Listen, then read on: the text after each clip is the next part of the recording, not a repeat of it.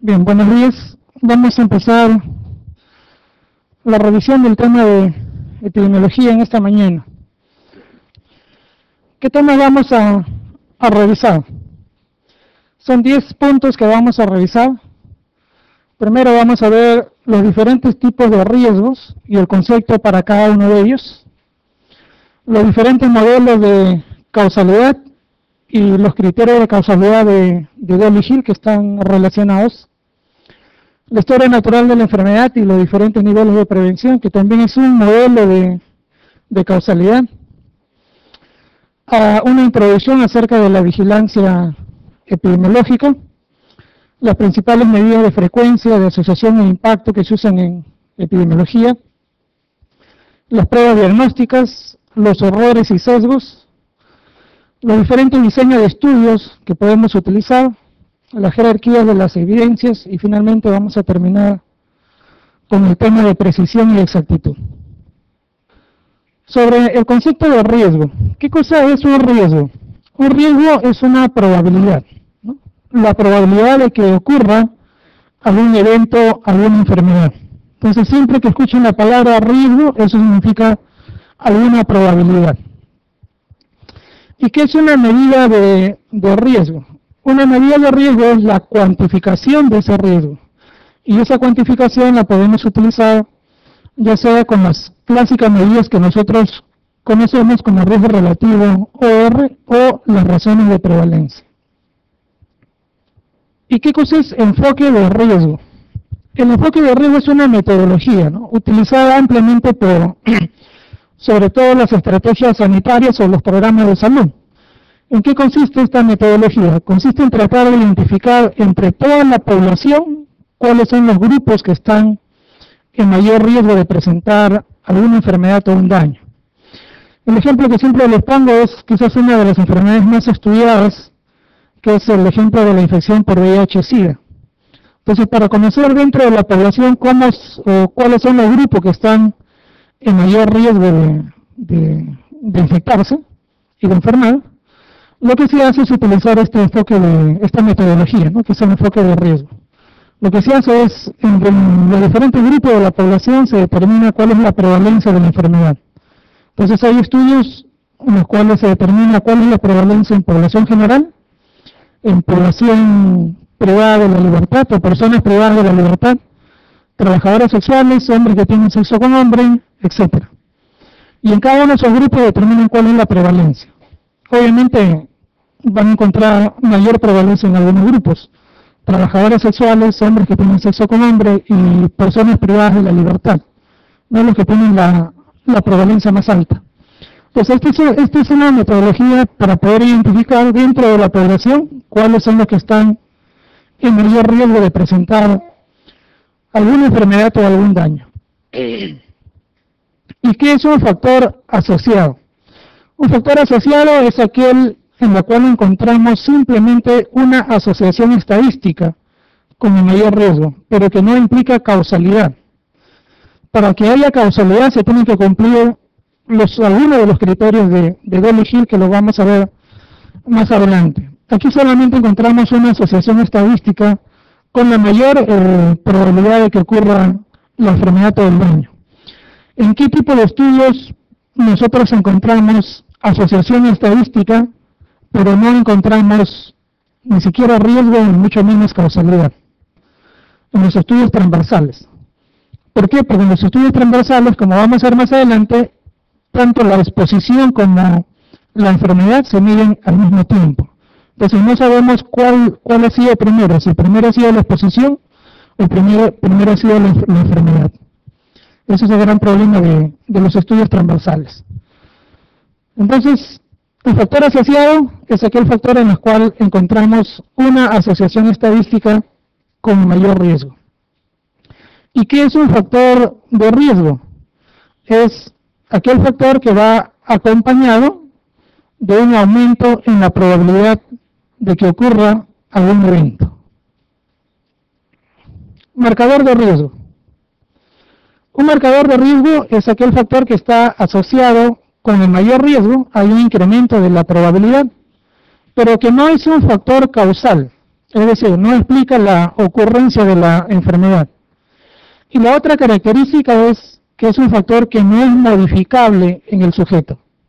Entonces es un factor que está asociado a mayor probabilidad, mayor riesgo. No es un factor causal y tampoco es modificable en el sujeto. Ejemplo de marcadores de riesgo. El sexo, grupo sanguíneo. Factores que pueden estar asociados al incremento de, al mayor riesgo, al incremento de probabilidad de alguna enfermedad, pero que son factores que no son posibles modificarlos. ¿Qué son factores de riesgo causales? Es aquel factor que además de la asociación estadística que habíamos comentado, sí se puede eh, encontrar o demostrar una relación causal.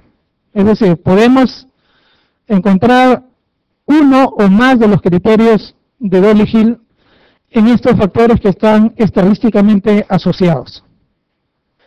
¿Y qué es un factor protector? Son todos aquellos factores en los cuales hay una asociación estadística, pero no con el incremento, sino con la reducción de la probabilidad de eh, enfermedad y que además en ese factor hemos demostrado una relación causal. Ejemplo de factores protectores, factores que están asociados a la menor presentación de alguna enfermedad al año, el lavado de manos y la presentación de enfermedad de aguda, sobre todo en niños. El lavado de manos y la presencia de neumonías también que está asociado a la menor probabilidad de presentar neumonías en niños menores de 5 años. Población expuesta. Población expuesta son las personas o el grupo de personas que tienen o han tenido contacto con un factor de riesgo determinado y que además son susceptibles a presentar la enfermedad o daño que estamos investigando. Y un factor pronóstico es una condición que se presenta no en personas sanas, sino en personas que tienen una enfermedad determinada y que está asociado a algún tipo de desenlace de la enfermedad. Este desenlace puede ser eh, mayor severidad de la enfermedad o incluso la muerte del sujeto. Eso vendrían a ser los factores pronósticos. Factores que se encuentran en personas que tienen una enfermedad y que está asociado a algún tipo de desenlace. Ahora este desenlace no necesariamente puede ser un desenlace negativo. ¿no? El desenlace también puede ser a que se cure la persona o el sujeto. Ok, esos son los diferentes tipos de, de riesgos y las definiciones que hay de cada uno de ellos. Veamos ahora los principales modelos de causalidad.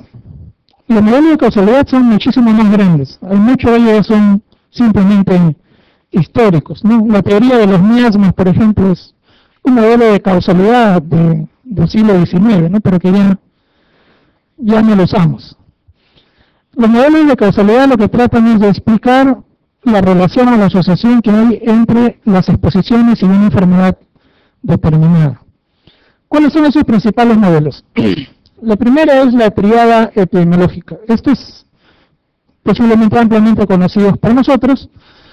Este modelo lo que plantea es que la enfermedad es el resultado de la interacción que hay entre estos tres factores. ¿no?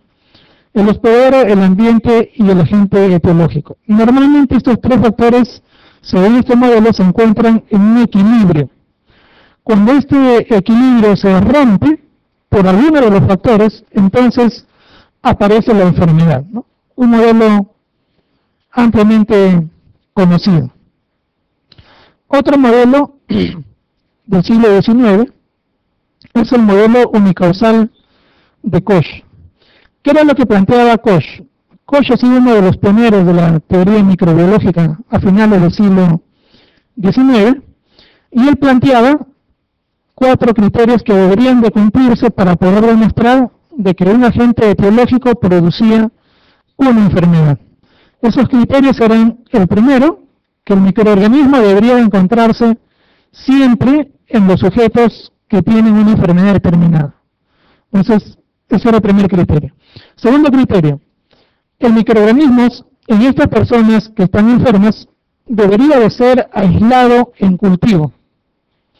El tercer criterio es, estos microorganismos aislados en los cultivos deberían ser capaces de producir la enfermedad si es que lo inoculamos a animales de experimentación.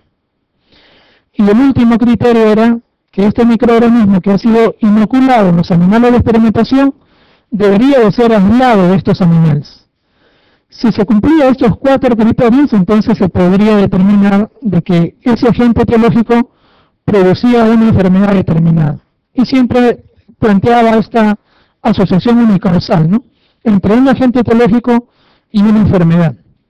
Esto para esa época era un modelo aceptado, pero eh, tenía sus problemas, como sabemos, ¿no?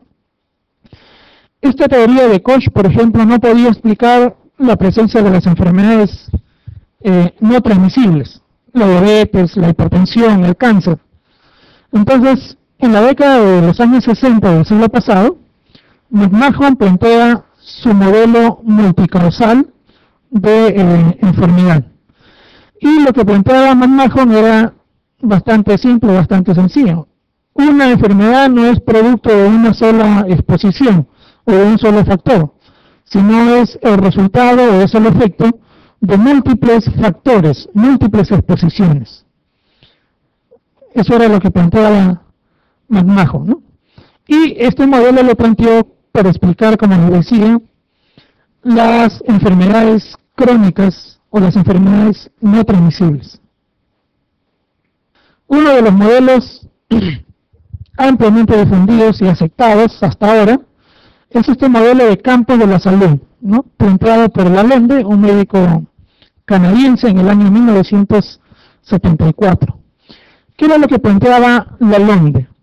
Lalonde planteaba de que el proceso de salud enfermedad en la población dependía de cuatro grandes campos. Dependía de la biología humana, es decir, había factores genéticos, factores propios de las personas que de una u otra manera favorecían la aparición de ciertas enfermedades. El ambiente donde vivían las personas también era otro de los campos.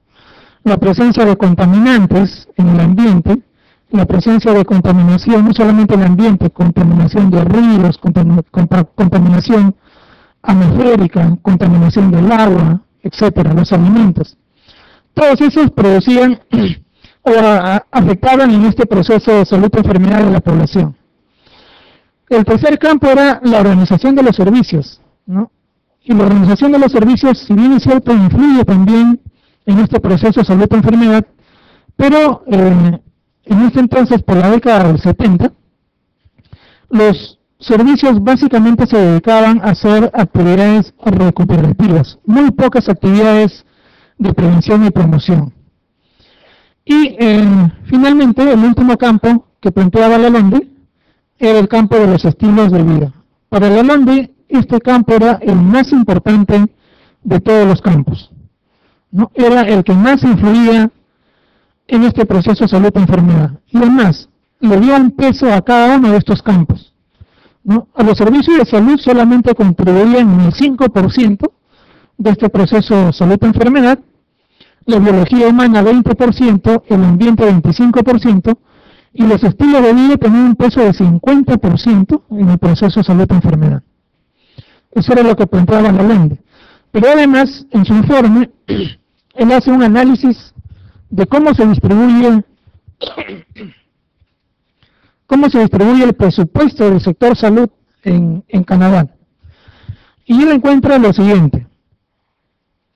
El campo que menos influye en este proceso de salud enfermedad, que son los servicios de salud, contribuye solo con el 5%. Este campo recibía casi el 95% del presupuesto mientras que el campo que más influye, que son los estilos de vida, contribuye con el 50% de este proceso de salud y enfermedad, menos del 2% del presupuesto era asignado hacia este campo, hacia la modificación de los estilos de vida. Entonces él encuentra esa incongruencia, en muchos países todavía esta incongruencia se mantiene. En nuestro país algo se está haciendo para incrementar este último campo, ¿no? cambio de los estilos de vida, sobre todo con la actividad de, de promoción y prevención. Pero en nuestro país seguimos gastando gran parte de los recursos humanos en este campo, organización de los servicios. Y este es otro de los modelos, el modelo multinivel de determinante de salud, planteado en el año 91 y retomado el año 2001 por la OPS y la OMS con alguna modificación de la propuesta original. ¿En qué consiste este modelo? Este modelo plantea de que para, para que se produzca este proceso de salud-enfermedad hay que analizar los determinantes. Y los determinantes son determinantes o pueden ser determinantes proximales y determinantes distales. Los determinantes proximales son aquellos que están mucho más cerca hacia el sujeto, hacia la persona. Y los factores más proximales vendrían a ser los factores biológicos o los factores genéticos que influyen en la aparición de algunas enfermedades. Luego vienen los factores individuales, los estilos de vida de los sujetos. Este es otro de los eh, determinantes que según este modelo influye bastante en el proceso salud-enfermedad. Luego, más hacia afuera, están la influencia de las comunidades, el acceso a los servicios de salud, las condiciones de vida y trabajo y finalmente las condiciones sociales, culturales y económicas. Los determinantes proximales, o en general, los determinantes de la salud es un término que se empieza a utilizar por primera vez con la LONDE. En el año 74 la LONDE por primera vez acuña este término. Ya no habla de factores de riesgo, sino habla de determinantes de la salud. Y este modelo toma ese, esa definición que hace la LONDE en su informe. ¿no? Y lo divide en determinantes proximales y determinantes distales. Otro de los modelos de causalidad es la historia natural de la la historia natural de la enfermedad y los niveles de prevención que fueron planteados por Level y Clara. En este modelo de la historia natural de la enfermedad plantean dos periodos, un periodo prepatogénico y un periodo patogénico. El periodo prepatogénico es aquel periodo en el cual no hay contacto entre el agente y el huésped. Y el periodo patogénico se inicia desde el momento que el agente tiene contacto con el huésped y pasa por varias etapas.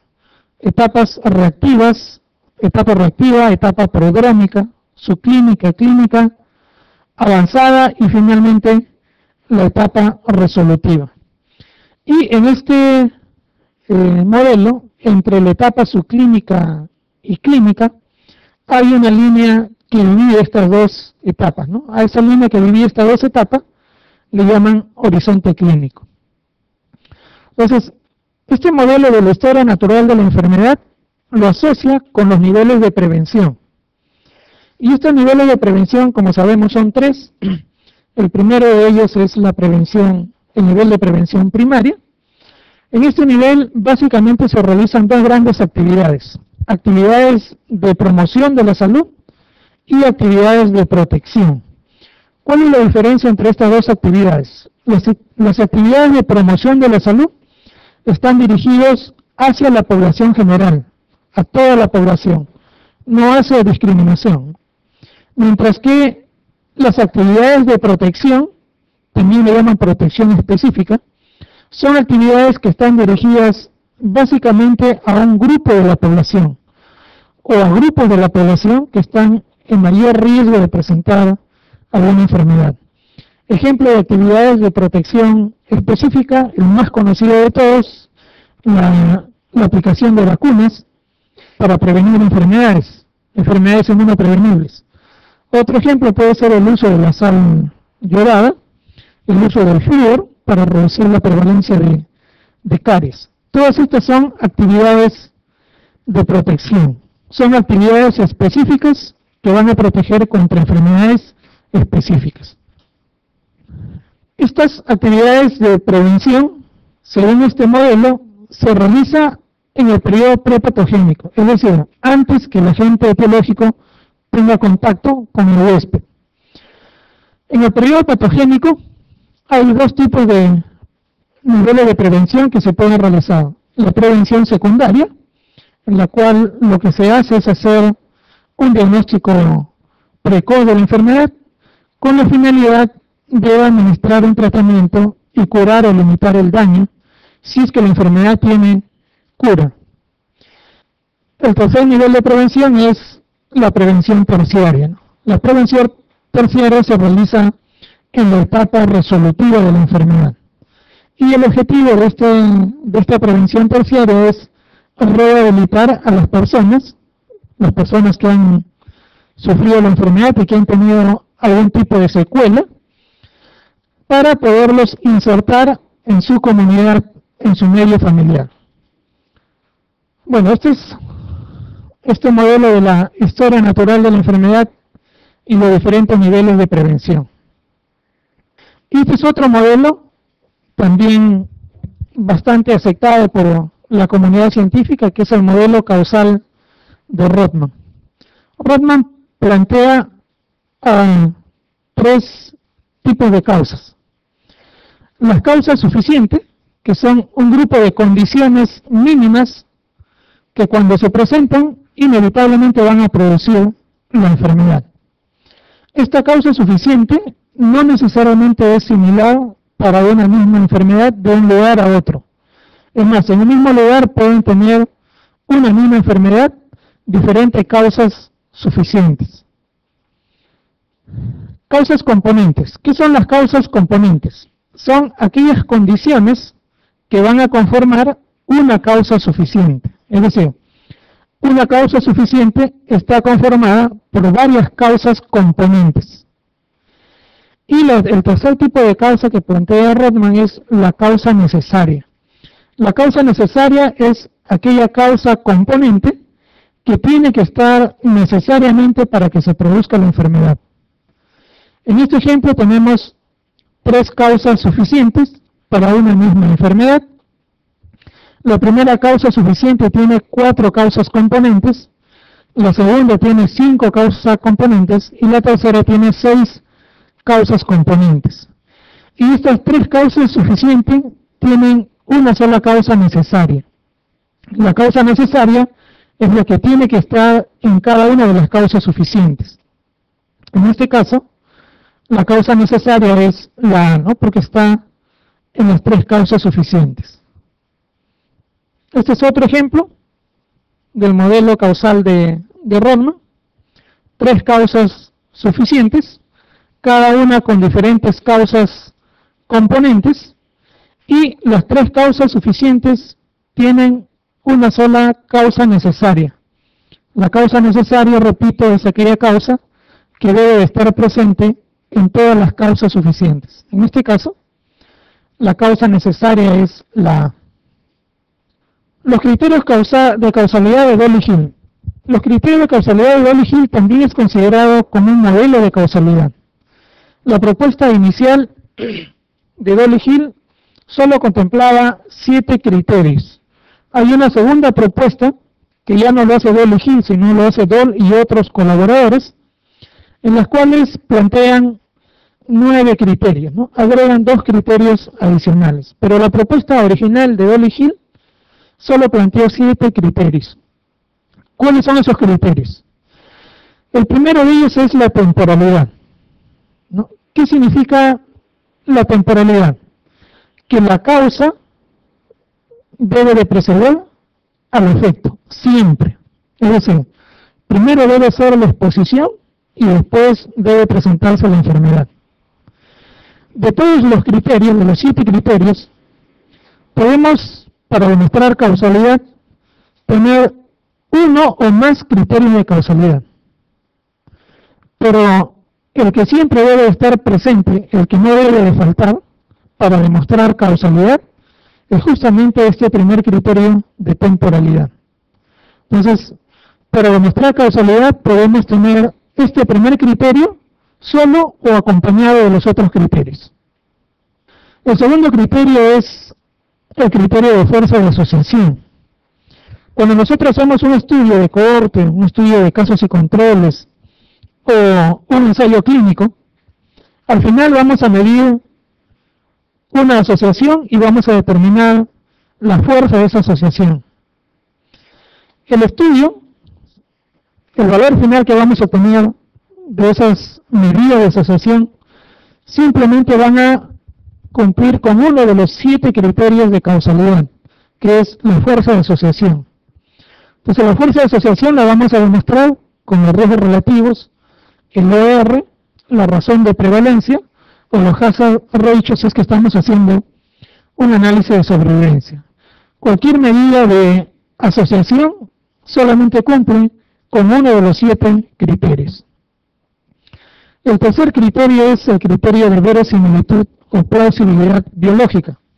¿Qué quiere decir esto? Que las asociaciones que hemos encontrado en nuestro estudio tienen que tener o tienen que estar de acuerdo con los conocimientos científicos actuales.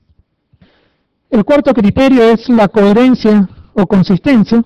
Esto significa que si nosotros hemos encontrado una asociación en un estudio que hemos realizado, esta misma asociación o este mismo resultado debe de ser encontrado por otros investigadores con otros en, en, otros estudios realizados de repente en diferentes lugares, en diferentes momentos.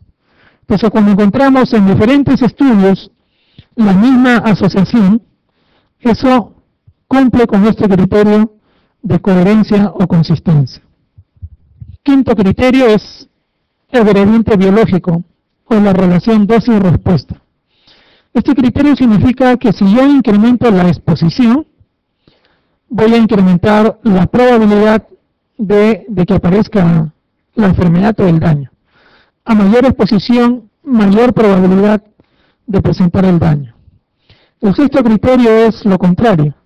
Si yo elimino la exposición, elimino o reduzco la probabilidad de que aparezca la enfermedad o el daño.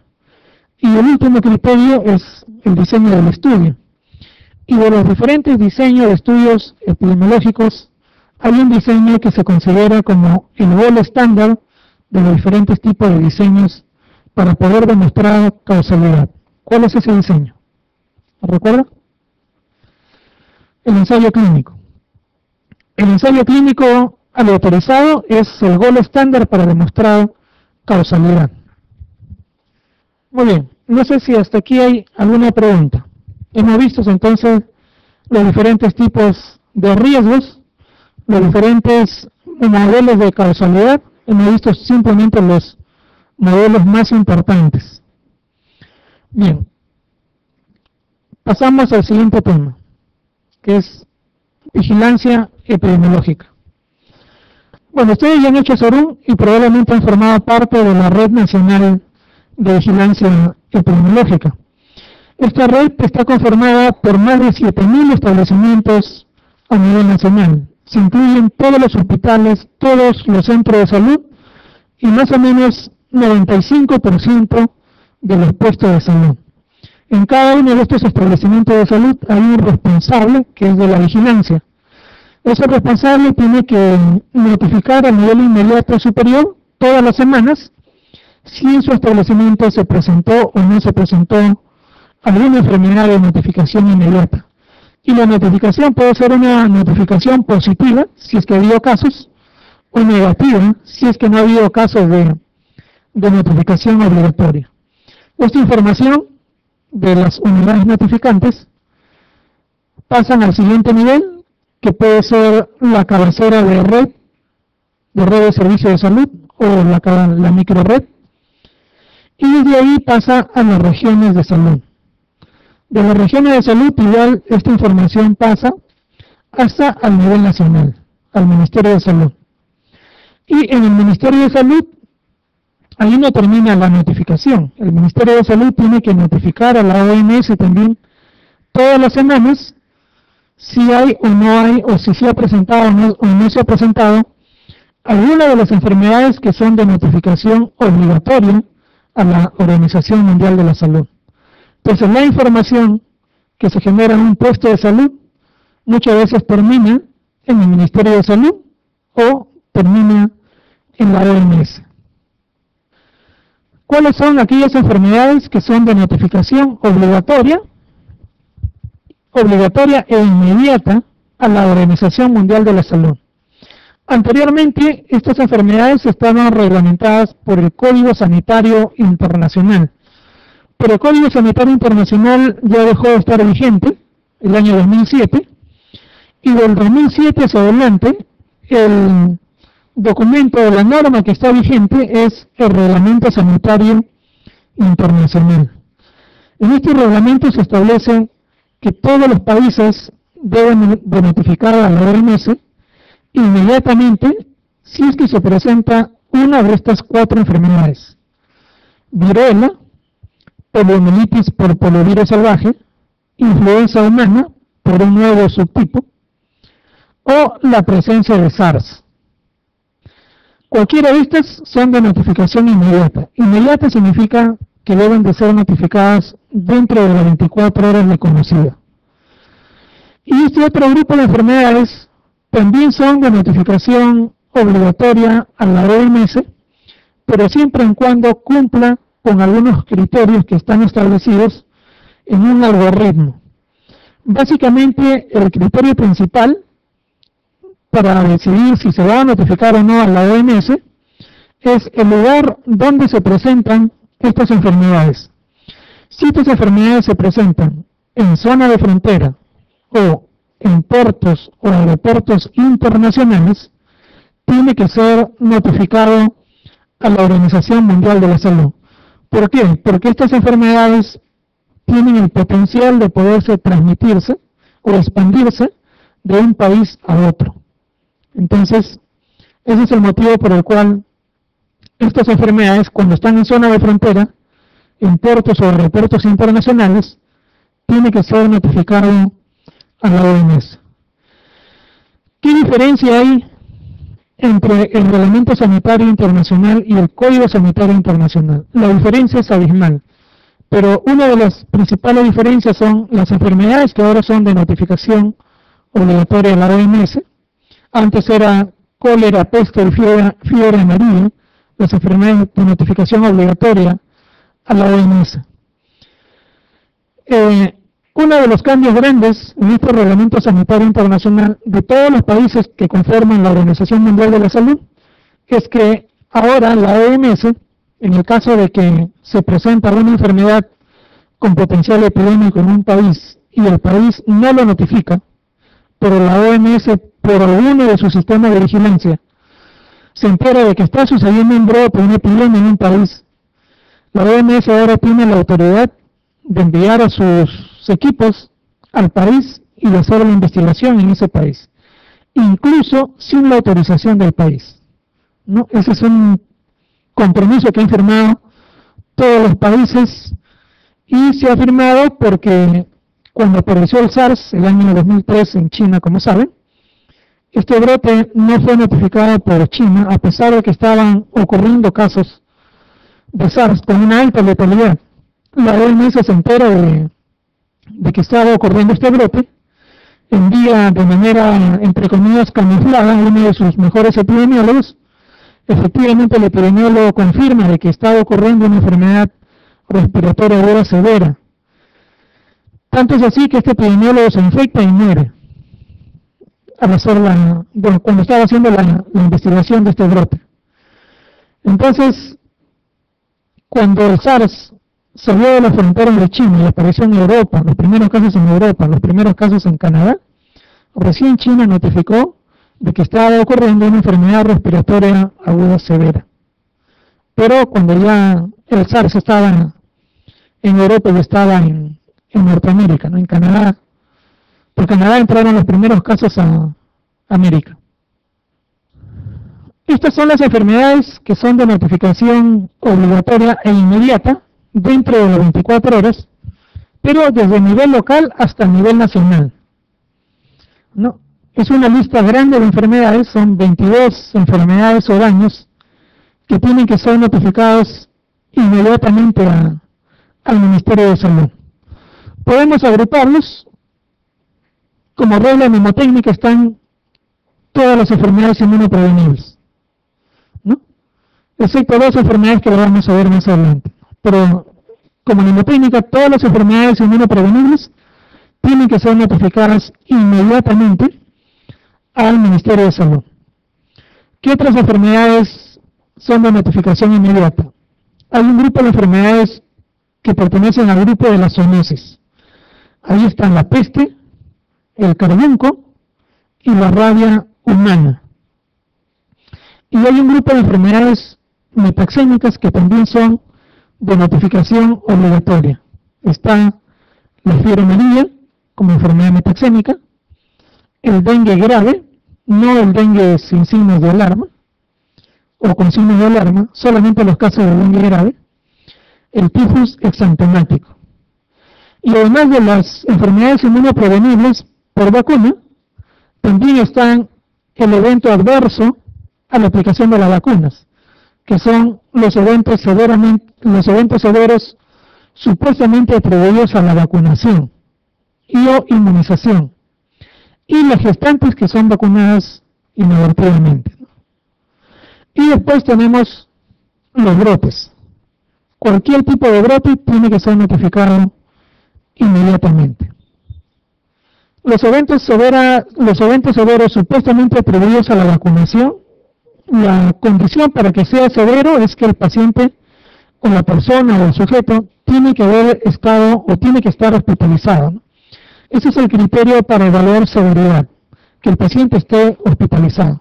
Si no está hospitalizado, no es considerado como un evento severo supuestamente atribuido a la vacunación, ¿no? Son los ESAVIS. Después hay otro grupo de enfermedades que son de notificación ya no inmediata, son de notificación semanal.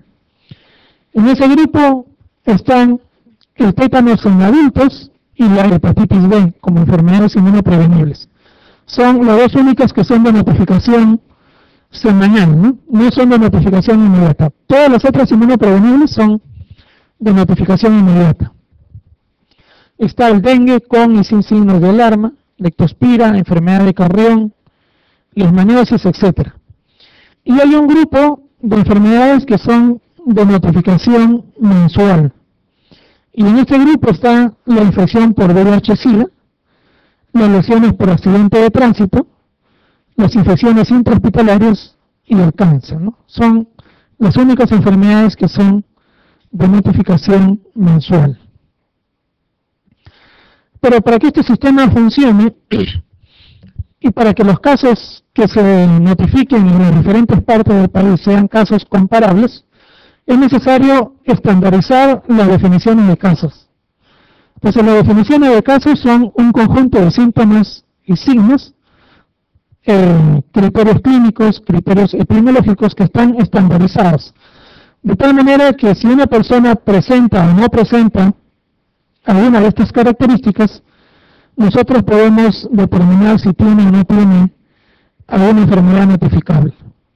Estas definiciones de casos, como les decía, tienen tres tipos de criterios. Criterios clínicos, criterios epidemiológicos y criterios de laboratorio, que van a permitir determinar si el paciente es considerado como un caso sospechoso, como un caso probable o como un caso confirmado.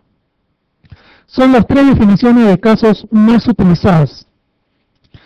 Eh, la diferencia entre el caso sospechoso y el caso probable es básicamente en términos de probabilidad.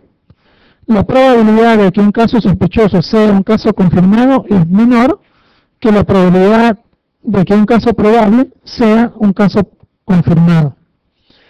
Es en términos de probabilidades. Por este término de, de probabilidades básicamente se basa en la presencia de algunos síntomas o signos. En los casos sospechosos, usualmente los síntomas y signos son síntomas generales, síntomas que son inespecíficos.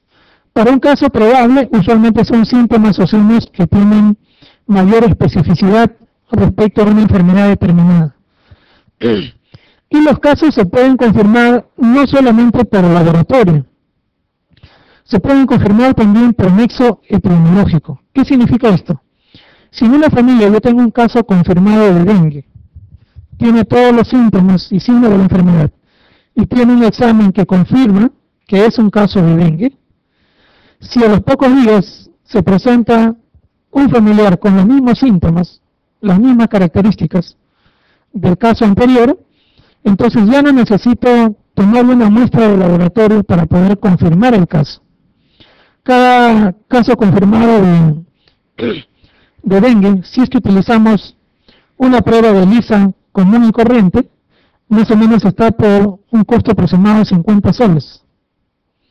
Entonces, no tiene sentido confirmar todos los casos.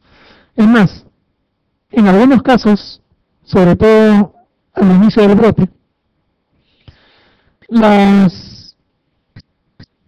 el test de lisa que detecta anticuerpos necesita de que el paciente tenga por lo menos 5 días de enfermedad para que pueda producir los anticuerpos y esos anticuerpos pueden ser detectados por la prueba. Pero si el paciente tiene uno, dos días, tres días de enfermedad, le vamos a hacer una prueba de lisa y la prueba de lisa va a salir negativa.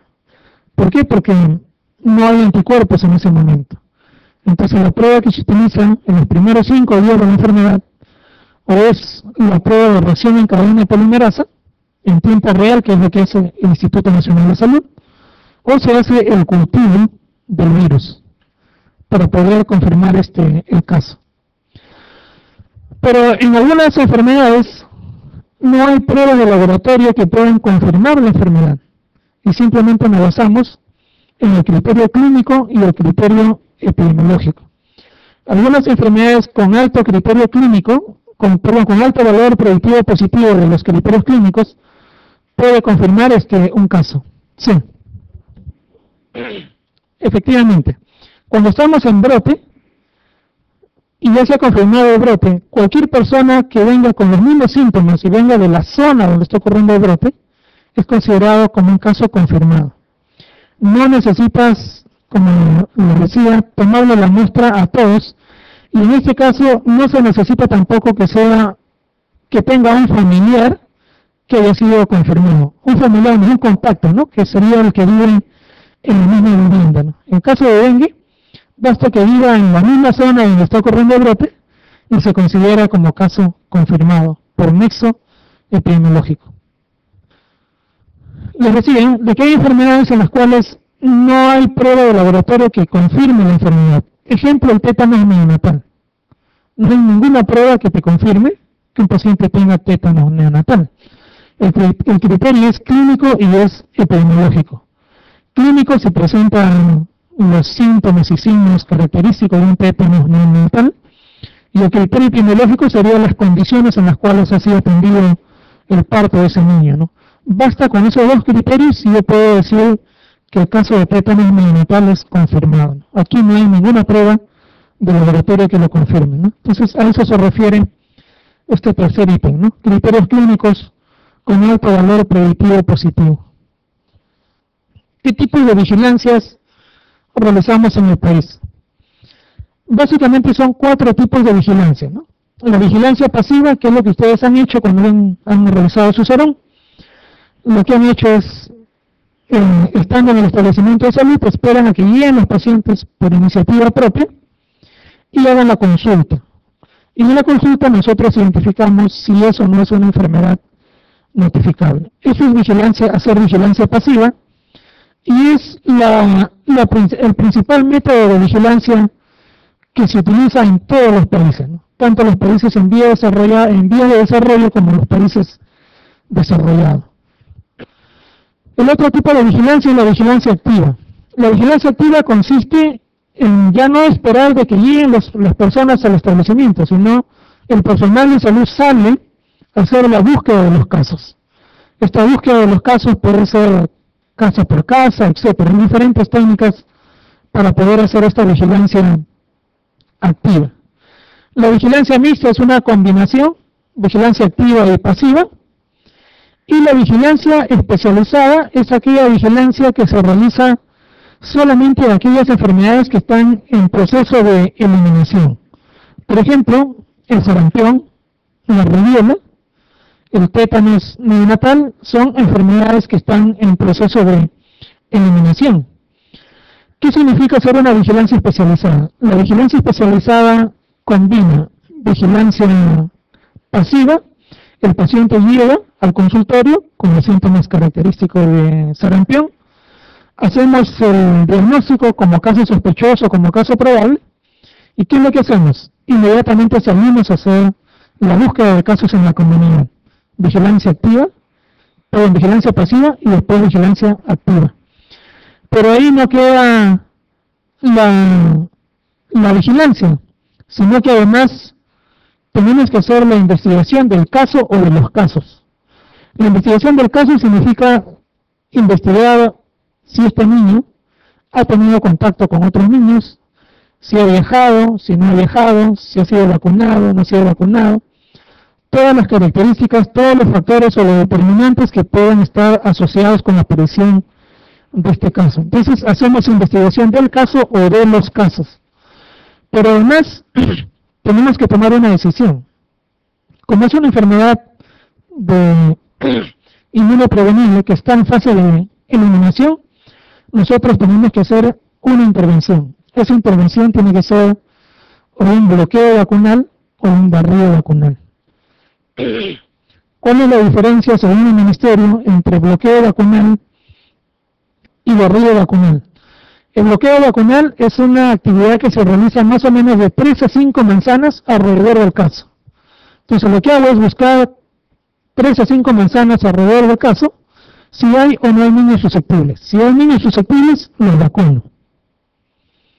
Entonces, frente a un caso de enfermedad inmunoprevenible, lo que estamos haciendo es vigilancia pasiva, vigilancia activa, investigación y además intervención. ¿Y en qué consiste el barrido vacunal? El barrido vacunal consiste en hacer lo mismo, buscar niños susceptibles pero ya no tres a cinco manzanas alrededor del caso, sino en todo el distrito. ¿No? Esa es la diferencia entre bloqueo vacunal y barrido vacunal. Básicamente es el ámbito. Bloqueo es tres a cinco manzanas, barrido es todo el distrito. Entonces, en eso consiste la vigilancia especializada. Y desde hace algunos años hay un quinto tipo de vigilancia que se está realizando, que es la vigilancia centinela.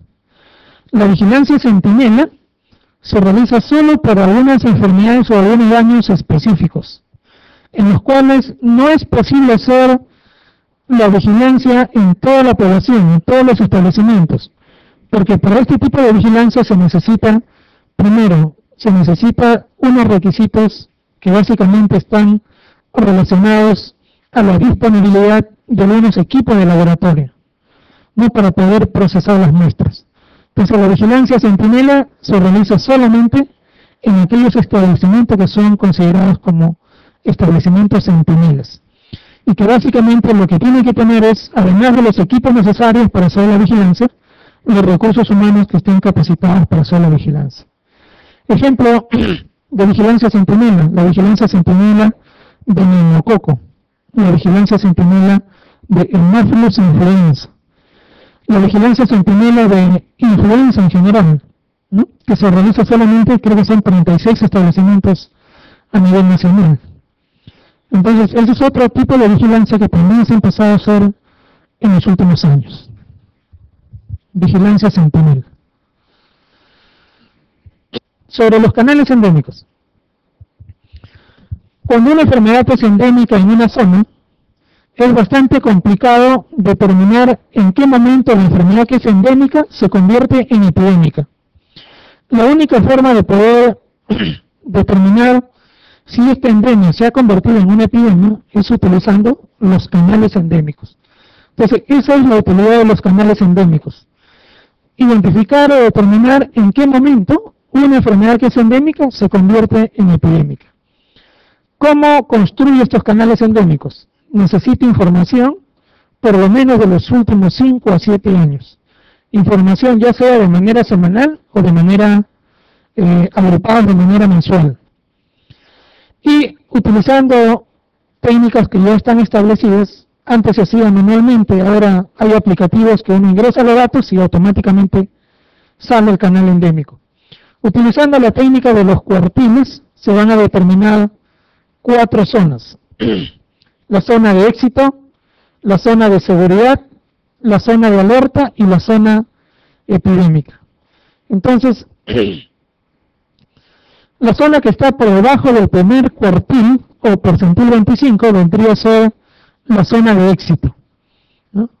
La segunda zona, la que está entre el cuartil 1 y el cuartil 2, se le llama la zona de seguridad. Entre cuartil 2 y cuartil 3, la zona de alarma.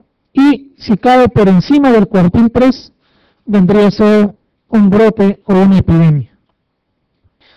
¿Cómo se hace la lectura de estos canales endémicos? Lo único que tenemos que hacer es graficar el número de casos que se presentan de la enfermedad por semanas epidemiológicas y vemos dónde cae la barra de la frecuencia de los casos.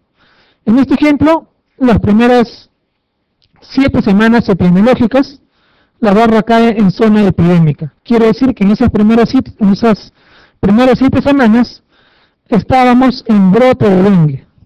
Y en la última semana, la altura de la barra cae entre la zona de seguridad y la zona de alerta.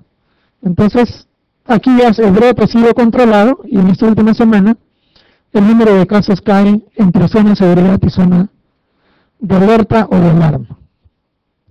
Esta es la forma como se interpretan los canales endémicos y su utilidad es identificar brotes de enfermedades que son endémicas. Muy bien, pasamos al siguiente punto que son las medidas o las mediciones utilizadas en epidemiología. En general, las mediciones en epidemiología las podemos dividir en tres grandes grupos. Las medidas de frecuencia, las medidas de asociación y las medidas de impacto. ¿Cuáles son las medidas de frecuencia? Las medidas de frecuencia son cualquier tipo de tasa. Cualquier tasa, cualquier razón o proporción es una medida de frecuencia. Medida de asociación. En las medidas de asociación aquí tenemos el riesgo relativo y el OR como las dos medidas de asociación más frecuentemente utilizadas. Las razones de prevalencia que se utilizan en los estudios transversales analíticos y los hazard ratio que utilizamos cuando estamos haciendo un análisis de un estudio de corte, pero estamos haciendo un análisis de sobrevivencia, ¿no? No estamos haciendo la estimación de los riesgos relativos. Y finalmente, la tercera, el tercer grupo de mediciones son las medidas de impacto. Aquí tenemos el riesgo atribuible o la fracción atribuible. Estas dos medidas de impacto las vamos a obtener cuando estamos haciendo el estudio. Entonces, al hacer el estudio, nosotros finalmente vamos a determinar probablemente nuestras medidas de asociación y podemos determinar en el estudio también en algunos casos las medidas de impacto. Pero cuando nosotros extrapolamos estas medidas de impacto del estudio hacia la población, vamos a obtener las medidas de impacto en la población. Y esas son el riesgo atribuible poblacional y la fracción atribuible poblacional. Y finalmente, como medida de impacto también tenemos el número necesario a tratar como una medida de impacto. Bien, veamos las medidas de frecuencia. Las medidas de frecuencia son las razones. La razón, ¿qué cosa es una razón? Una razón es una fracción en la cual el numerador no está contenido en el denominador. Ejemplo de razones, la razón de muerte fetal. En el numerador tenemos las muertes fetales, en el denominador tenemos los nacidos vivos. El numerador no está contenido en el denominador. Otro ejemplo es lo que nosotros le conocemos como tasa de mortalidad materna, que en realidad no es una tasa, sino es una razón. ¿no? Es la razón de mortalidad materna. En el numerador tenemos el número de muertes maternas, en el denominador tenemos el número de nacidos vivos. La proporción, a diferencia de la razón, en este caso el numerador sí está contenido en el denominador. Ejemplo de proporciones, la proporción de hombres, que vendría a ser en el numerador el número de hombres, en el denominador la población total, o la proporción de mujeres, en el numerador las mujeres, en el denominador la población total. En ambos casos el numerador está contenido en el denominador. ¿Y qué cosa es una tasa? Una tasa es la ocurrencia de un evento en una población, pero en una unidad de tiempo determinada. Siempre cuando eh, estimamos las tasas, debemos especificar en qué momento se ha realizado, en qué lugar y en qué tipo de población. Cuando nosotros estimamos tasas, en las tasas el numerador no está contenido en el denominador. Una verdadera tasa es una razón, no es una proporción. Ejemplo, el número de cáncer de mama que se desarrollan por cada 100.000 mujeres año.